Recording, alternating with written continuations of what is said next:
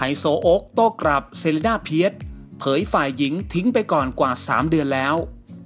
จากกรณีอดีตดาราสาวอย่างเซเลนาเพียสครับ ถูกสามีไฮโซโอ๊กดิษยเดชพาพวกมารุมแย่งชิงตัวลูกสาววัยหนึ่งขวบไปครับ โดยสามีนั้นครับบอกว่าจะขอพาลูกไปดูแลเอง เซเลนาเพียสครับจึงนำหลักฐานเข้าร้องเรียนกับศูนย์ดำรงธรรมจังหวัดภูเก็ตนั้น เกี่ยวกับเรื่องนี้ครับล่าสุดสำนักข่าวดังครับรายงานว่า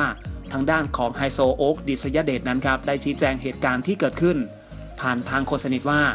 ตนไม่ได้เป็นคนทอดทิ้งฝ่ายหญิงก่อน ตามที่ฝ่ายหญิงเคยออกมาให้สัมภาษณ์ ตนอยากให้สังคมลองกลับไปดูรูปภาพในอินสตาแกรมว่าตนเป็นคนที่ใส่ใจครอบครัวขนาดไหน มีการพาไปตรวจคันพาไปท่องเที่ยว พาไปทานข้าวกับครอบครัว โดยไฮโซโอ๊กดิษยเดชครับกล่าวว่า เรื่องนี้บางทีสังคมเห็นฝ่ายหญิงออกมาร้องไห้ กล่าวหาว่าตนทอดทิ้งฝ่ายหญิง แต่จริงๆ แล้วตนต่างหากที่มีปัญหาชีวิต เพราะฝ่ายหญิงทิ้งตนไปก่อน ไม่ใช่แค่อาทิตย์เดียว แต่เป็นเวลากว่า 3 เดือนแล้ว และพาลูกไปด้วยทำให้ครอบครัวฝ่ายตนนั้นต้องทุกข์ทรมานมาตลอดระยะเวลาที่ฝ่ายหญิงทิ้งไปทางนี้ครับไฮโซโอ๊กดิษยเดชจะมีการเตรียมตัวออกมาแถลงข่าวชี้แจงต่อไปครับ งานนี้ครับขาเมาส์ขาเผือกทั้งหลาย ปูเสือรอเตรียมฟังแถลงข่าวชี้แจงได้เลยครับ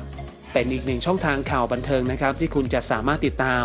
และอัปเดตข่าวสารไปพร้อม ๆ กันได้เลยนะครับ อย่าลืมกดติดตามชมซูเปอร์สตาร์ดารา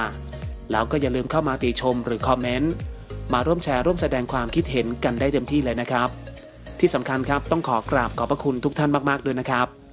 ที่เสียสละเวลาในการติดตามรับชมรับฟังกันด้วยนะครับ